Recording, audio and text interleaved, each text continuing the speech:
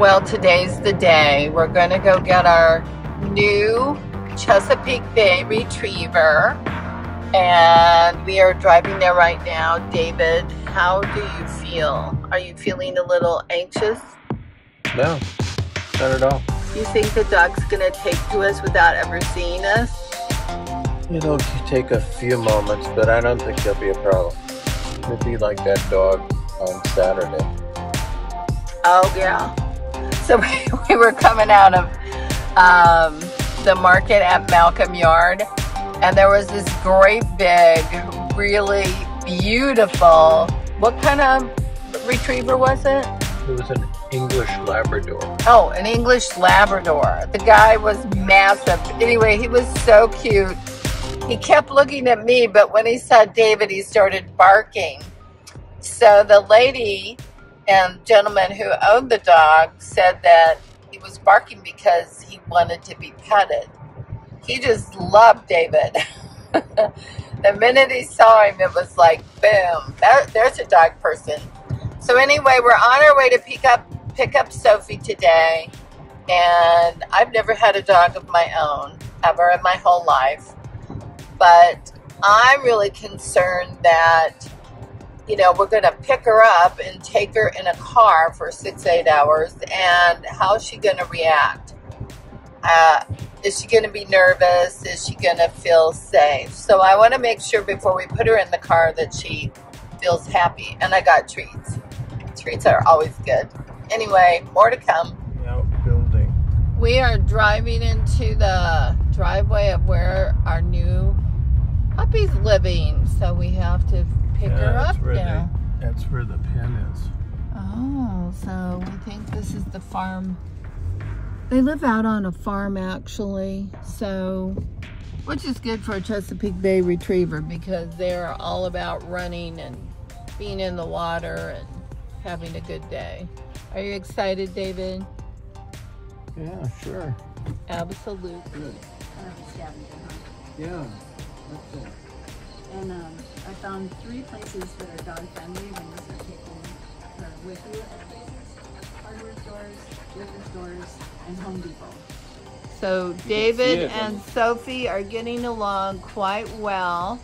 I think Sophie's already got an idea. She's got an instinctive vibe that this is going to be the guy that's going to give her all the wonderful food and fun trips to the lake and great experiences. So I think we're actually going to be okay here. Oh, but yeah. Sophie is so hyper that she has peed like 15 times in the last hour. She's just too excited. so it's going to be a long car ride home. Well, this will be an interesting first walk with David and Sophie.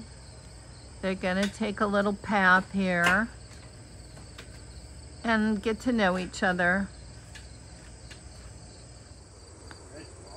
So now it begins David and Sophie's big adventure.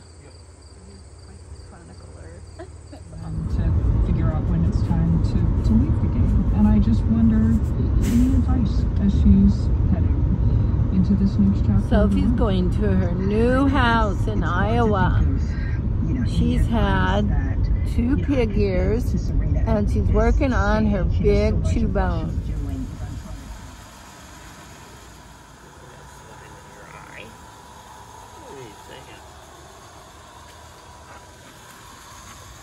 Well, as you can see, Sophie is acclimating to us and we got her home. David's been working with her now for a couple of weeks. And I noticed this morning when you went to take her to the lake, she didn't want to get in the car. She was going to the veterinarian. Oh, to the veterinarian. Okay. So I noticed like the noise. I noticed that Trucks. she was just like kind of frozen She And you- scared of the trucks. and you had to pick her up and put her in there. Know, the trucks and bluff. So she had her first meeting with the vet today. How did that go for her? Was she happy to see the other dogs there? Sort of. What did the vet say? Said she has good hips. Good hips. That's good. That means she can run and jump and bounce. She bounces very high, by the way. Yeah. she likes treats. Sophie loves treats, don't you, Sophie? Yeah. And she likes her bones. And she's really challenged going on a walk with us at night. She gets really afraid of car noises. She gets afraid of anything that she thinks is abnormal, which is just right now about 99% of everything. So she likes to be reassured. And we're getting her used to having her tummy rubbed. She, she was so uptight she couldn't even lay down and have her tummy rubbed. So you can see she's coming along pretty good. And she's really good with the squirrels in, in our yard and the rabbits. She hasn't tried to eat them yet. And the moles. But she, yeah, she did go mole hunting, which is okay. I don't mind that. Those are disgusting little creatures. But she doesn't, you know, try to attack anybody that comes to the house to work. And she's always happy to see people. But she will run away and she will kind of hide, even though she looks fierce. But anyway, we're happy to have her, and David is making really good progress. And anything else that you like about Sophie? You think she's beautiful, right? Mm. She's quite beautiful. It's just hard to adjust from Elsa to Sophie because Elsa was so alpha and Sophie is so, I don't know what. Sophie will be I do. Sophie is just so uh, retreating right now. Instead of retrieving, she's retreating. Anyway, she's doing good and she likes to run out in the yard she likes to play. So that's the most important thing. If you have a new dog and you want to share any tips on how to get them acclimated or what you do to get them calm and happy, be feel free to go ahead and put that in the comments. Thanks David. for watching my YouTube channel. I know you love Chesapeake Bay Retrievers. Why is that? Why do you recommend that as the pet of choice?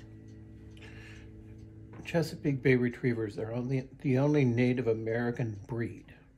And they are a good work dog, companions forever. They're loyal, right?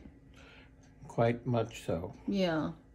And where did they come from? Did they come from the East Coast? The story is that a, a ship carrying Newfoundlands went aground or sank off the eastern shore of Maryland. And the dogs swam to shore and established their own breed on the eastern shore of Maryland. Wow. Thus the name Chesapeake Bay Retriever. Very cool.